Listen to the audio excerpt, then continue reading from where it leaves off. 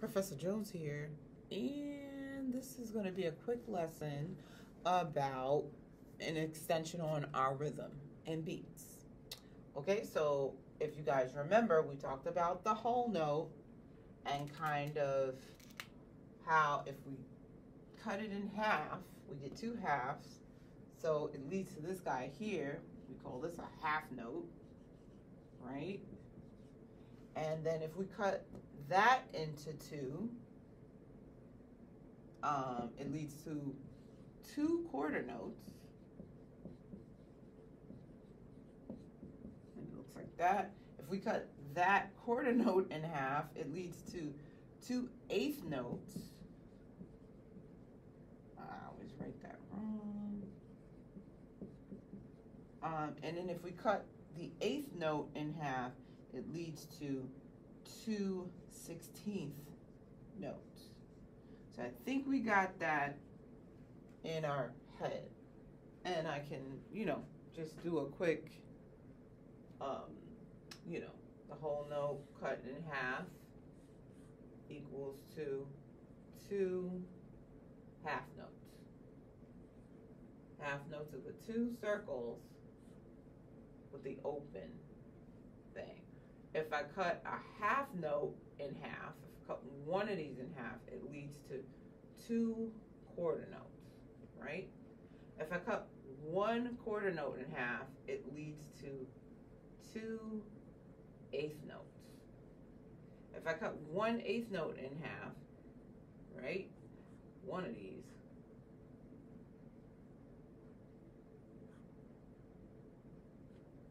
it leads to two sixteenths. And you guys get visually confused with the sixteenths. One sixteenth, one sixteenth looks like that. It's got the two little flags at the end. So if, if I cut a, an eighth note in half, it leads to two sixteenths. Hold on a second. Okay. So hopefully you understand that. Now, the new concept that I'm adding on to this is we have to be able to, it's like when you have a, uh, when you wear a size eight, we also, some people have a size eight and a half foot. We can't just have an eight and a nine. You gotta have a half in there too. So to be able to reflect more micro measurements of notes, what we're going to do is is add a dot. Now, how? Let's see how I can do that. So if I add a dot, if I add a dot onto this half note,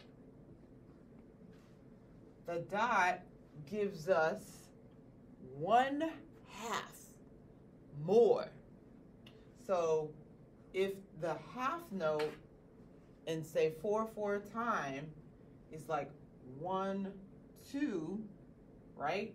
Because before I said it gave us it, it gave us two quarter notes. Remember that? See here? Then it's going to give us one half. So instead of two, it's just going to give me one more quarter note. And this is a concept that is going to help you. It might take a minute to kind of get it. if you put a dot next to a quarter note, and if you cut the quarter note in half, it gives you two eighth notes, then it's just going to give you one more eighth note. So you're going to actually have two eighth notes and one more. You're going to have three eighth notes. So the dot counts for one half of the main, the main note. Um, if I put a dot next to this eighth note, then it's going to give us, because if we cut the eighth note into two, we get two sixteenths. So it's going to give us three sixteenths. You can write it like you can write it like together, or you can do it like that. I could have also done it, let's see.